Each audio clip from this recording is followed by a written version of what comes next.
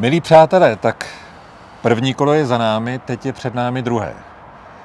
Je potřeba se zapojit a i proto naše týmy Petra Pavla i náš spolupracují, připravujeme společné výjezdy do regionu a také distribuci společných materiálů.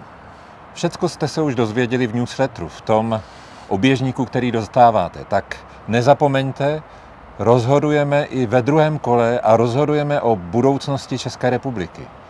A potřebujeme prezidenta, za kterého se nebudeme muset stydět.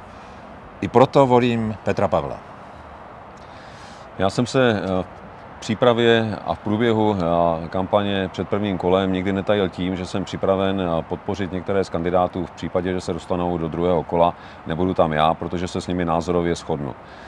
Pan Fischer mezi ně samozřejmě patří a já jsem moc rád, že se rozhodl po oznámení výsledku prvního kola mě podpořit v tom dalším boji, které nás čeká v kole druhém.